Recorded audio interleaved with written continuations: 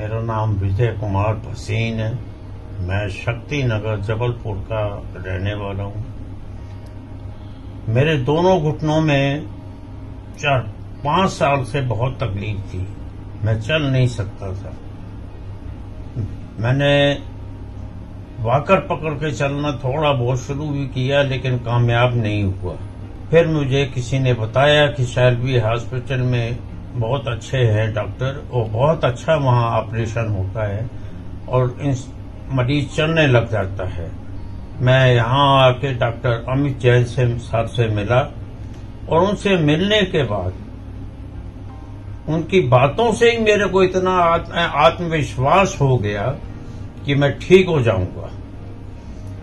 मैंने यहाँ पे एडमिट होके और ऑपरेशन कराया अभी मैं बहुत ही बेटर फील कर रहा हूँ पहले से। मैं वॉकर दे के चलता हूँ। मेरे को जो फिजियोथेरेपर है, वो मेरे हेल्प करते हैं और मैं सीढ़ियाँ तक चढ़ जाता हूँ।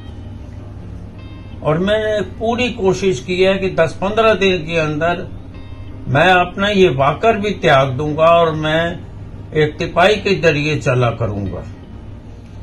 और पंद्रह दिन के बाद वो तिपाही भी छोड़ दूँगा और फिर मैं नॉर्मल वॉकिंग में आ जाऊँगा।